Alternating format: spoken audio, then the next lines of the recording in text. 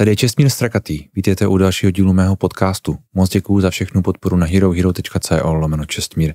Dnes je mým hostem Martin Dorazín, reportér zpravodaj působící dlouhodobě na Ukrajině, velmi blízko frontě, často přímo na frontě, někdy možná i za frontou, jak jsem měl pocit z toho dokumentu Válečný zpravodaj, o kterém tady teď mimo jiné budeme mluvit, který právě teď myslím, že už je v kinech a který dvojnásobně uspěl na festivalu ve Varšavě. Vítám vás, dobrý den. Děkuji za pozvání, dobrý den citace z toho dokumentu. Tahle cesta je hodně nebezpečná, ale to jsem vám neříkal, to byste se posrali.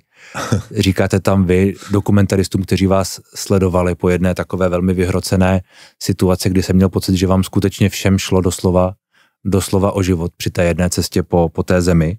Jak se v tomhle jak se v tomhle dlouhodobě funguje? Jak se v tom naučí člověk žít, jako vy? Já už tam žiju dlouho s pauzama samozřejmě různě, různé jiné štace, jako Varšava, takové klidnější a, a Moskva, to nebylo, ale bylo to jinak neklidné, protože tam začínaly právě ty bouřlivé události, kdy Putin začal velice tvrdě potlačovat opozici, zavírat lidi, tak u toho jsem byl, ale nebyla to válka, pořád se tam nestřílelo, jenom se vraždilo Borise Němcova, mého známého, velmi blízkého, zavraždili a spoustu dalších, Anu Politkovskou, která bydlela za rohem, takže to už tam taky bylo, ale člověk se nebál o sebe. Mm. A, ale já jsem se víc bál právě o ty lidi, kteří tam se mnou natáčeli, protože to jsou filmaři, kteří nemají moc zkušenost tady s tím prostředím drsným, jak oni to budou snášet, takže se nemá člověk čas zabývat sám sebou, ale spíš myslí na to, aby jsme se tam dostali. Proto jsem jim některé věci neříkal dopředu, některé jsem ani nevěděl. Ta situace se mění, je nevypočitatelná, zvlášť teď, když se používají drony, tak je to, hmm. Je to šílené, protože je to rychlejší, Oni vás vidí, vy je nevidíte, neví, nevíte odkud na vás kdo zautočí, můžou si vás splést Ukrajinci, může to být cílený útok, náhodný, takže proto jsem použil ta slova. Oni točili vlastně všechno a tohle to asi dokresluje tu tam, jak jsme se tam pohybovali, vlastně tu hmm. techniku toho natáčení filmu. No, uh, ono to dokresluje hlavně takovou tu uh, jako syrovost a trošku bezvýchodnost té situace, takovou tu nikdy, nikdy, nikdy, nikdy nemizící ten nikdy nemizící tlak. A vy, vy říkáte, v Rusku to bylo nějaké, to už je ale pár let, kdy vy jste působil v Rusku. A teď jste na té Ukrajině přímo snad neustále od roku 2000, od ledna 2022, jestli se nepletu. No, přesně tak. Což je, uh, mně se to zdá být obdivuhodné, být vlastně neustále v tom, v tom prostoru. A vy říkáte, jako vnímáte to vůbec ještě jako něco, co na vás uh, působí, nebo jste prostě uh, otrlí, řekněme, těm věcem? Každý je asi svým způsobem otrlý z těch lidí. Každý, každý jistě ne. No tak tam žijou miliony lidí. Ano, ta, tam, tam lidé ano. Takže já tam žiju s něma a mm, tam pijeme kávu, tam má moje kamarádka takový stánek, auto s kávou, tam, kde bydlím v Oděse, eh, nad přístavem, kam právě lítají ty rakety velice, čím dál tím častěji v poslední době a když je ten poplach, tak my se nejdřív podíváme, co to je. Když to jsou drony, tak to je v pohodě, ten život tak běží dál, protože drony většinou se střelují, ale když to jsou rakety a už jsou odpálené a už letí a my to vidíme v telefonu, v, v těch různých sítích, tak se jdeme schovat na, na těch pár minut, on to přiletí, bouchne a pak zase eh, vylezeme ven a ona dál prodává to kafe, dál jsou tam ty lidi s dětma, s pejskama, tam se mm. scházejí pejskaři a dál se pokračuje v tom hovoru, jo, takže mm. takhle to tam vnímají, berou všichni, asi je to tíživé, ale uh, oni v tom žijou, tak hm, proč bych já v tom nemohl žít tak nějak víceméně normálně.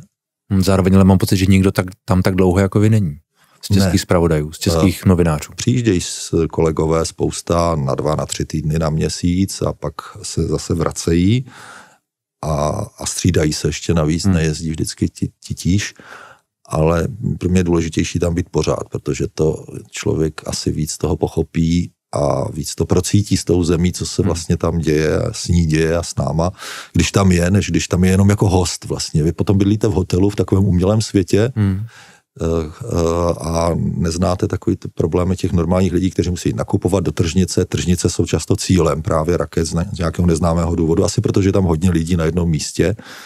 A takže tam taky chodíme do tržnice, taky hmm. s, s, mám ten divný pocit, když jsem viděl tolik tržnic rozmlácených, rozbombardovaných, tak si říkám, Ježíš Maria, tak kdyby se to stalo tady. No, no a tržnice je možná takový symbol toho normálního života, že jo? Takže tam se dějou ty běžné věci, No, možná se to jako cíl pro někoho, kdo chce ten normální život narušovat za každou cenu, jakoby asi nabízí.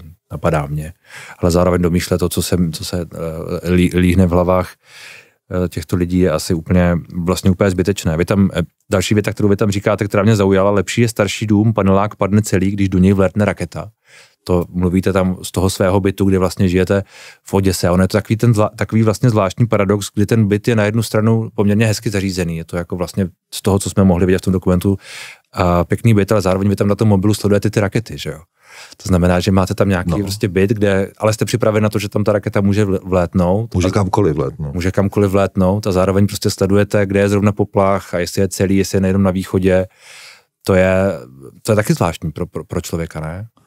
To už je taková rutina, no, že to člověk sleduje, jednak to sleduje ze spravodajského důvodu a jednak z důvodu osobní bezpečnosti, kde se, kde, kam to letí a kdy to asi přiletí.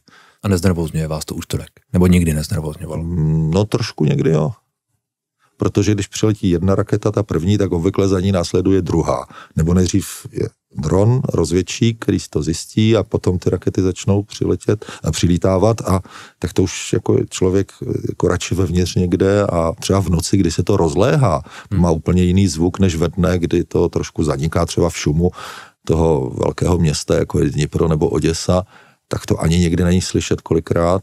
Víme, že tam něco se stalo, ale prostě nejsme u toho, nebo neslyšíme to, ale v noci je to všecko. To, to duní tím prázdným, zhaslým městem, po půlnoci se vypnou, vypne pouliční osvětlení eh, a pak je to takové hruzostrašné, tak, ale mám ty silné zdi v tom starém domě v Oděse, tak se tam tak jako za ně vždycky schovám, nebo prostě aspoň minimálně ne, nevystrkuju hlavu ven. I když mě to jako nutí se jít podívat, tak jsme to několikrát s kolegama udělali, že jsme se šli podívat na horní terasu toho domu, jak tam se střelují uh, ty právě šáhydy, ty uh, bojové drony, ty útočné, to jsou vlastně jako obrovské, to jsou letadla normální, jako s náloží prostě bez pilota, kamikadze to je, to, to, je, to je podívaná docela, to stojí za to. Dokonce jsme to točili telefonama, protože to člověku nedá. Ale potom zase si říká, no tak jako jestli to není už moc tam, jako tohle hmm. líst nahoru, ještě navíc na střechu skoro, aby, to, aby, aby jsem si to natočil a viděl to, ale fakt to člověku nedá někdy. Jo. Hmm, no zároveň já, já, mám pocit z toho, jednak z toho dokumentu i z toho, co vy často vyprávíte, v, když reportujete z těch míst, že vy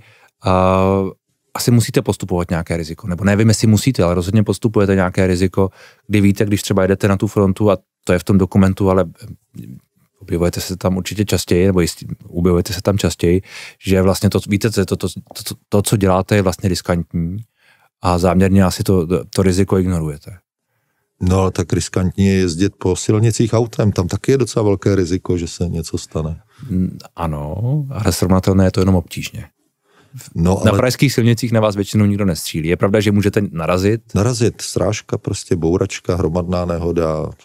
A to je se, tak řidič, profesionální řidič taky, který každý ještě půl dne na cestě, každý den vlastně. A tohle je pro vás srovnatelné? Já si myslím, že do, do určité míry to riziko tam je a jsou profese, které jsou vyloženě rizikové a taky je lidi dělají a ne, nezabýváme se tím nějak, že by jejich pocitama, že se, jak se cítíte, pane hasiči, že jo, to, jak to má. To, na, to, na to se lidi hasičů, myslím, zrovna ptají, ale zároveň, občas, ale zároveň mám pocit, že to vy to tak jako zlehčujete.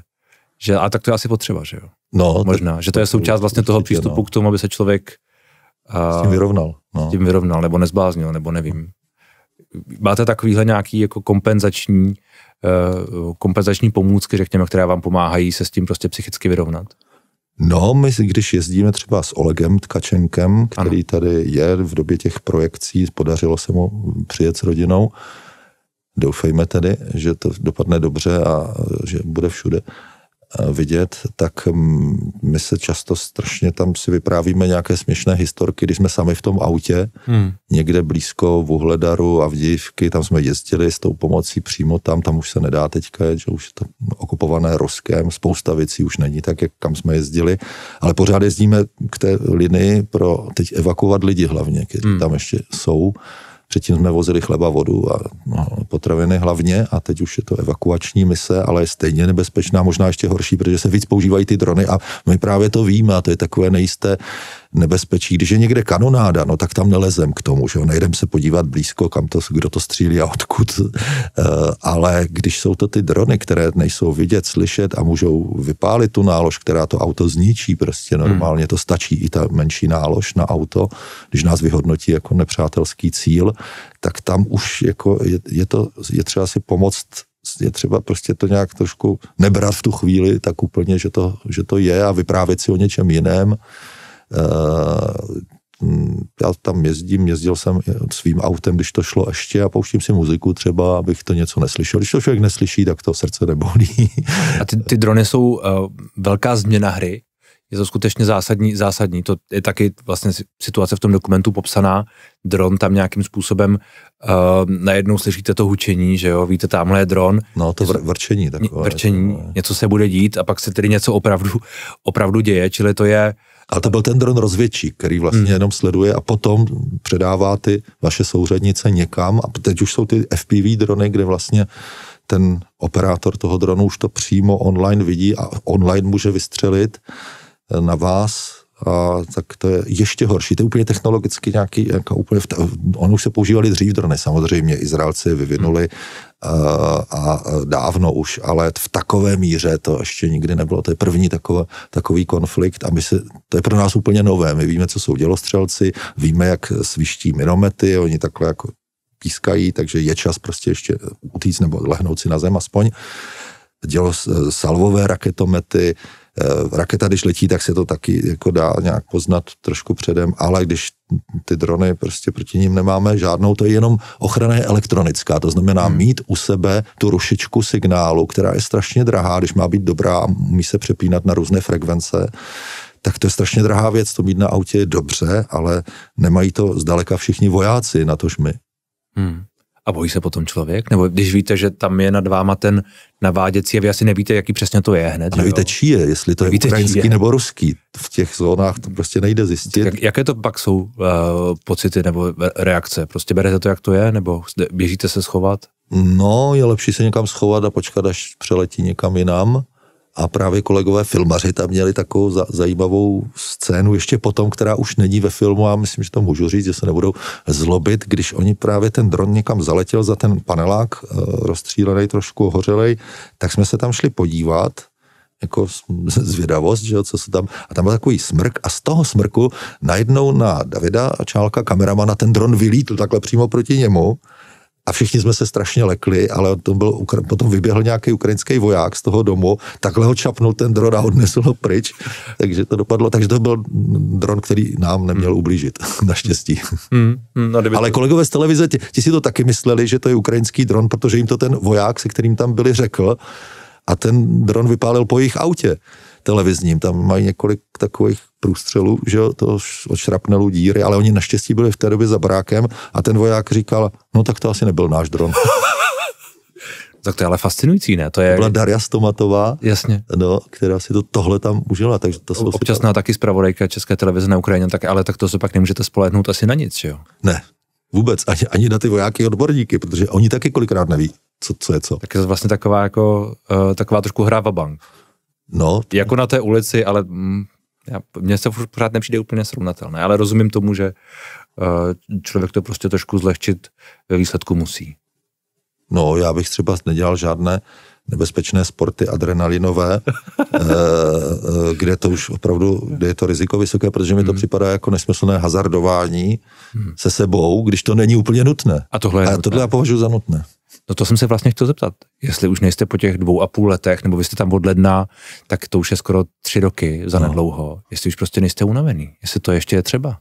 No tak tam je spousta možností, jak se odreagovat. Tam ta země v podstatě funguje, když to není přímo ostřelované město, teď Pokrovsk, Kurachovo, tam ta frontová města, vesnice, tak ten život se tak jako snaží sám vrátit automaticky, podvědomě ti lidi se ho snaží vrátit aspoň trochu tam, kde byl, takže je opera, je kino, eh, zaplať pámu funguje internet, eh, Netflix a všechno možné, co si člověk chce pustit, tak si může pustit, když jde elektřina, samozřejmě, hmm. což taky nemusí být vždycky. Obchody fungují, diskotéky fungují, v Oděse prostě v léto bylo tak fantastické, že to vůbec nepřipomínalo žádnou válku, ale normálně jako tak takovou pohodovou dovolenou na nějakém španělském ostrově. No ono, když tohle někdo uslyší, no. člověk, který je typicky zvyklý třeba říkat, tam se nic neděje, na většině Ukrajiny není válka, Ukrajinci tam jezdí na dovolenou. To jsou takové ty věty, které slyšíme uh, od Tomio Kamury, a, ale od řady dalších. Oni jezdí na dovolenou, protože ti chlapi nemůžou v tom věku do 60 let vlastně vyjet z té Ukrajiny jinam na dovolenou, takže hmm. jezdí myslím, u sebe myslím, do hor a na moře. Zaznívá, z Česka jezdí na Ukrajinu ano. na dovolenou. Jo, takhle, no tak na dovolenou nevím, jestli byl to... Tam totiž ta válka není, ale za sekundu může být. Hmm. Ta raketa. A takhle to Ukrajinci vnímají? Takhle to vnímají všichni, no.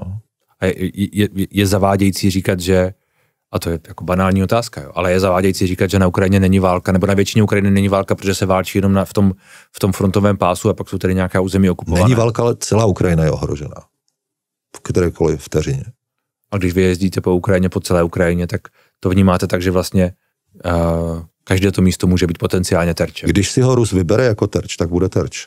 Což se stává. No, samozřejmě v Karpatech, třeba Užgorod, Mukačevo, jsou méně pravděpodobnými terči, ale co není může být, když tam Rus pro sebe odhalí nějakou základnu vojenskou nebo domnělou vojenskou základnu, tak tam tu raketu pošle a taky tam umře spousta lidí. A to znamená, že tam není válka, nebo že tam je válka. Jak to teda jako, hmm. Hmm.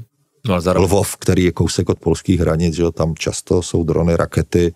Teď tam byl kolega, tam zabili přímo, když tam byli vlastně, eh, který mě střídal, když jsem byl na chvilku pryč, tak zrovna tam zabili sedm lidí ve Lvově, což je kousek od polské hranice raketa, myslím, že to byla. A, hmm. Takže to se může stát opravdu fakt. Víme, že ty rakety můžou doletět i no, spadnout třeba nezáměrně, zatím doufejme, na polské území, moldavské, rumunské, prostě drony tam padají, jejich zbytky. Hmm. Takže až tam ta válka sahá, až k nám vlastně. No.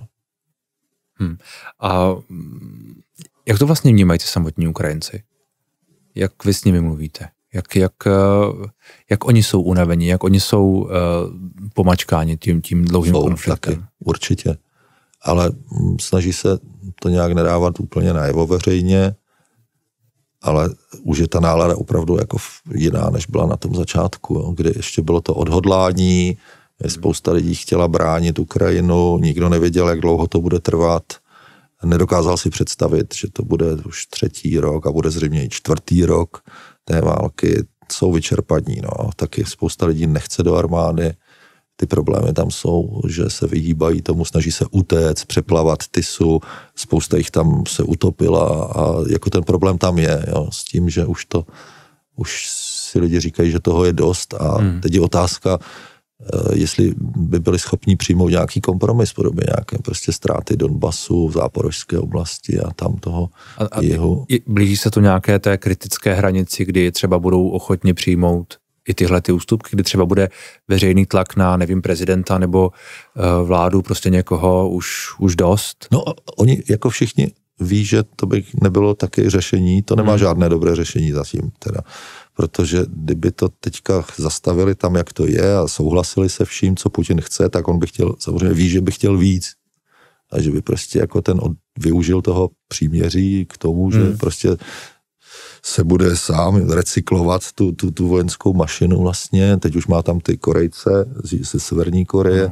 Dnešní zprávy takže jsou, to nechce že, zastavit. Že? Dnešní zprávy jsou, že dva, asi dvě tisícovky severokorejských vojáků míří na Ukrajinu tedy v tuhle chvíli. Už tam jsou. Už tam a už zahynuli. Už, už dokonce zahynuli. Už byli v Donbasu a už je to psali sami, samotné, to není žádná ukrajinská propaganda, eh, to o tom informovali tamní telegramové kanály dokonce, hmm. jo, v Donbasu, v Doněcké a Luhanské lidové republice, že už tam byl, takže oni už tam byli dřív samozřejmě, to byl nějaký předsunutý hmm. počet, předsunuté jednotky, které tam asi byly zkoumat možnosti rozmístění. Zkoumat možnosti umírání. A umírání, no a je tohle to nějaká zásadní, je to, to vůbec zásadní věc? Je to tak důležité, jak se může občas zdát z našeho pohledu z těch sociálních sítí, kdy máme pocit, tak tohle je skutečně ten game changer, kde se severokorejci objevují na uh, ukrajinském bojišti, takže to znamená, že američané se budou chovat jinak, budeme to vnímat víc jako globální, skutečně globální konflikt, kdy, kdy ty osy zla v úvozovkách se nějak jako propojují, nebo je to vlastně jenom Eh, další, další, další den. Není to žádný zlomový moment, protože ani těch 10 tisíc eh, severokorejských vojáků nezmůže, nemůže to úplně zvrátit nějak výrazně na, na jinou stranu. To je spíš ten mravenčí, eh, systematický už teda postup Ruska metr za metrem, nehledě na jakékoliv ztráty lidské, postupovat, zabírat to území prostě tou obrovskou lidskou silou, kterou mají k dispozici, eh, takovým tím primitivním válečnickým způsobem, který je ale účinný, jak se ukazuje a proti tomu prostě Ukrajina potřebuje ty zbraně, kterými může, kterýma může zasáhnout ten týl, aby, aby zamezila tomu přísunu těch, těch lidí a techniky na frontu a to právě američaní jim nechtějí povolit vlastně. A tam je ten, tam je ten problém asi největší. Američané i Němci mají, mají problém s tím, aby, ano, aby, aby Ukrajina ano. zasahovala Uh, ono často jde o území, vlastně, které kontroluje Rusko, nebo přímo území, území Ruské, Ruské federace. Uh, tyhle ty svázané ruce, které jakoby Ukrajina má, nebo které ukrajinské vedení má, ukrajinská armáda má, je proto nějaké pochopení? Vy proto máte pochopení? Ukrajinci proto mají pochopení, že se bojíme eh, eskalace války a všech těch eh, no, to uh, argumentů, které zaznívají? Oni nechápou ten argument, protože uh, eskalovat válku, když nebudou Ukrajinci, tak ji bude eskalovat Putin, tak to bude jiná eskalace, ta eskalace stejně bude když ji nebude eskalovat jedna strana, tak toho využije ta druhá, že jo? A to je eskalace. A zapojení Korejců, Severokorejců je taky eskalace v podstatě, ale je to takové jako východisko eh, z nouze pro Putina, Uh, ale pro Severokorejce vlastně ty, ty předsunuté jednotky, to byli důstojníci, kteří tam byli předtím si osahat ten terén, tak to znamená, že pro Severní Koreu je takové cvičení, protože mm. Bůh ví, co to, jaký to může mít dopad potom na konflikt na korejském poloostrově s Jižní Koreou. Eh, protože oni nemají žádnou válečnou zkušenost, kterou už ztratili po té korejské válce v 50. letech, na to už byla dávno, ty lidi už si to nepamatují, nemají už to. A tohle je pro ně ideální příležitost mm-hmm. se to naučit. Tam je to takové, eh, tam je ten dopad vlastně toho, mm, ale není, není zásadní vojenský, nebude žádný velký. Jo. Tam spíš jde o ty zbraně, o tu munici, kterou Severní Korea dodává, ta osa zla, Irán, Severní Korea, Rusko se potvrdila vlastně, jak se to kdysi tak trošku posměšně, nebo tak nějak to připadá jako umělá osa zla, nebo americká os, pro američany osa zla, ale teď se ukázalo, že ona opravdu existuje a že ty tři tyránské režimy spolu dokážou spolupracovat hmm. Eh, v náš tedy neprospěch silně. Takže Jižní, Kore, Jižní Korea, jeho Korejci by měli být nervózní z toho spíš, co se, děje, co se děje v Donbase a, a nasazením těchto severokorejských vojáků. Protože oni to budou vyhodnocovat, oni to budou studovat, budou mít vlastní zkušenost, naučí se zacházet eh, s těmi ruskými zbraněmi, o které hmm. zase Severní Korea stojí, těmi vyspělejšími, ona jim dává takovou tu munici, která, které tam mají miliony tun a která někdy moc nestřílí, ale to je jedno, eh, oni se jí taky zbaví a pak jim Rusko zřejmě dodá něco lepšího a toho by se tedy hmm.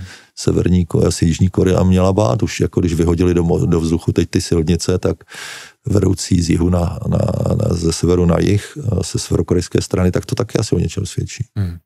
No a když uh, když jsme se bavili o tom, že eh, Ukrajinci jsou přece jenom už trošku unavení, že ta nálada tam je jiná, tak teď, když sledujeme, jak každý den, já čteme ty zprávy, jak Rusko postupuje, vy jste zmínili to tou ba, trošku barbarskou technikou, že prostě ty vlny, vlny, vlny, vlny těl za vlnou se, se, se nabíhají na bodáky no. v vozovkách, tak uh, v tomhle světle toho prohrávání, jakoby, protože to, to působí jako prohrávání. Jedna, jedna strana postupuje, druhá strana ustupuje. Ustupuje, no. ustupuje, tak um, je to něco, co, co, co taky je, je vnímáno. Je to něco, co třeba vnímáte i vy, že prostě ta strana, kde vy jste a kde vy informujete a které máte blízko a vy jste mluvil o tom, že tam jste poprvé byl někdy v 80. letech, je to tak? A vlastně no. Ukrajinu máte rád, jste tam, působíte tam dlouhodobě. Jako ten národ je nám blízký a asi to ví každý, když tady Ukrajinci pracovali, na které jsme se dívali trošku ze zhora, protože hmm. vykonávali takové ty podřadnější práce na stavbách a podobně tak vidíme, jak, je to, jak, jak, jak ten národ, jako ne všichni, ale jako podstatná část je docela statečná, je jiná, ale jsou nám i blízcí, protože jsme si rozuměli, jinak by eh, tady asi nemohli žít a pracovat, kdyby byli nějakým úplně cizím hmm. prvkem, elementem, který by vadil. To vadí až teď, ale to vadí z ideologických důvodů eh, těm mm, vlastně páté ruské koloně u nás. Eh, začalo to pro ně být velké téma a předtím jim to nevadilo. Když jim postavil barák Ukrajinec, tak si nestěžovali, že to je Ukrajinec. Hmm. Hmm. No já jsem se chtěl zeptat, jestli vlastně to, to prohrávání je vnímáno. Jestli je to vnímáno jako prohrávání, je to vnímáno jako... No zatím ne, zaplať pámu, to poraženectví tam není. ale Ukrajina asi nemůže počítat s takovým jako obrovským vítězstvím nad Ruskem, to je nerealistická představa. Jak se chvíli mluvilo o tom, že by snad mohla do, do, dobít i Krym, a všechna svá no, území zpět, tak to už je spíš uh, růžový sen. No, kdyby měla k tomu zbraně, tak to může udělat. A může ho hmm. odříznout, tam to není tak složité, je to v podstatě ostrov, to není poloostrov, on vysí jenom na takové úzké šíji vlastně, čímž je zranitelný a Ukrajinci mají výborné, čím dál tím víc těch námořních dronů a vyvíjejí si vlastní tuhle tu techniku, takže to by šlo, ale uh, oni mají obrovské síly vázané vlastně podél celé hranice. Ta linie, ta, ta fronta není jenom tisíc kilometrů, ta aktivní horka, ale je to celé, celá hranice s Běloruskem, která se musí hlídat, protože nikdo neví, co může přijít hmm. z Lukašenkovy strany.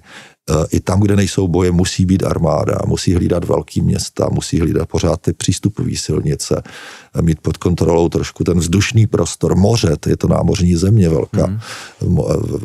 A takže oni toho mají strašně moc najednou a kdyby měli jenom Krym, tak by to možná šlo, ale v dané situaci teď aktuálně to není příliš realistické a zajímavé je, jak reagují na našeho prezidenta, který jim to kolikrát už naznačil a řekl, že prostě hmm. by se měli smířit, že prostě o něco dočasně přijdou. No, on se, on se, on Tam je důležité to slovo dočasně. Hmm a nereagovali na to nějak hněvivě. U jiného politika by jim to vadilo. Protože by řekli, no to, co nám tady radí, ať si radí sám sobě doma. Hmm. A, ale na tohle, tohle oni jako berou vážně a je to docela zajímavé to sledovat, jak tam má jako Česko velkou autoritu díky hmm. humanitárním organizacím, velkým člověk v tísni, Charita, Adra, všechny odbočky, co tam jsou od nás, co tam působí ale díky těm jednotlivcům, ale i díky politikům, který tam byli. Jako to je dost velká odvaha pro politika. To není nějaké honění politických si bodů a ukazování se před kamerama. To je, ono je to fakt nebezpečný, protože když jsme tam byli s, několikrát i s prezidentem, i s nějakýma jinýma politikama, tak tam ty útoky byly. Minimálně byly poplachy, minimálně byla práce slyšet protivzdušné obrany v Kijevě, když jsme čekali, myslím, že na prezidenta, nebo to už nevím, na koho to bylo, Eh, na nějakou prostě naši delegaci, tak tam zrovna se střelovali na kousek od nádraží, ty dron nad nádražím, ty drony nebezpečný, útočný, takže oni taky jako v podstatě riskují, není to takové v předvádění se mm. kvůli nějaké líbivosti a to tam oni všichni oceňují a vlastně náš prezident byl jediný, který dorazil až na východ. Tam byla spousta prezidentů, premiérů, ministrů zahraničí, byl. ale dojeli, dojeli do Kijeva, do Kijeva, což je taky, jako ten Kijev je taky ohrožený každou noc ale ne tak silně jako ten východ, kde to je přece jenom blíž a tak jako proto tam má jako to českou autoritu a proto snes, Ukrajinci snesou i kritiku od nás, nebo takovou výzvu k takovému realistickému přemýšlení. To není k tomu, aby se vzdali, hmm. ale aby přestali si to nějak malovat příliš na růžovo. Hmm.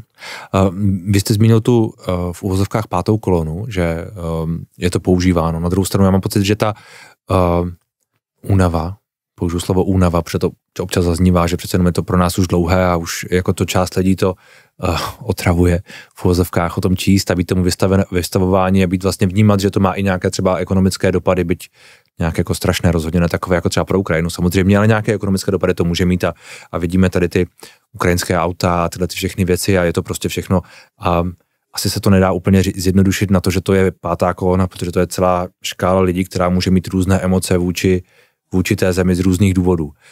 Jak vy se na tohle to díváte, na tu v úvozovkách únavu, nebo na to, že vlastně my tady si říkáme, už je to trošku dlouhé, už to... Se to nezajímá, ať hmm. na jen, jiný kanál a tam bude mít reality show z ostrova nahatých lidí. Hmm. Měli by se samozřejmě vrátit domů potom, až to skončí a spousta z nich chce se vrátit domů, nechtějí zůstat, ale pro nás jsou přínosem. V pohodě v klidu, tak tam vysílali nějaký soutěže, písničky, nějaké estrády a najednou, když se dá pokyn, tak oni se promění v nástroj propagandy a ovlivňování veřejného mínění a to je prostě, to byla ještě ta, ta měkká síla. Jak ty říkal nějaký ten propagandista v ruské televizi úplně jasně, on říkal, my potřebujeme skoro většinu Ukrajiny, potřebujeme, tak doslova potřebujeme ji, prostě tu musíme mít, jako, a tam ať si na západě, ať si zůstane zbytek, ale pod naší kontrolou, s našima vojenskýma základnama a tam si můžou dělat, co chtějí to tak nabíhalo prostě nabíhalo. postupně, až to vyvrcholilo tou vlastně přípravou to, té společnosti na válku, které se nesmí říkat válka. Že? To je taky úplně schizofrenní věc. Zároveň mluvil o tom, že tam řada vašich, uh,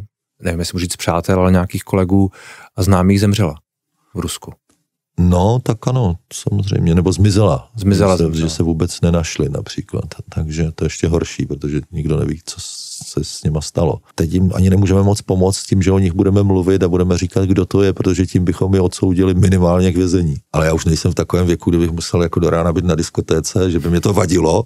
I když vodě se klidně ty lidi na diskotéce jsou do rána a stejně na to kašlou, že jo. Teď jsem měl takový zážitek s policajtama, dopravákama, kteří mě chtěli sebrat eh, za porušení rychlosti papíry a že mě prostě vezmou a že bude soud a že tam budu muset jezdit několik set kilometrů a takhle, a že to auto jim tam musím nechat. A pak teda se, jsem si myslel, aha, to je ta situace, kdy budou chtít úplatek, protože víš, že já jsem v bezvýchodné situaci a hmm. oni prostě mají navrh. Hlavní problém je prostě zastavit Rusko.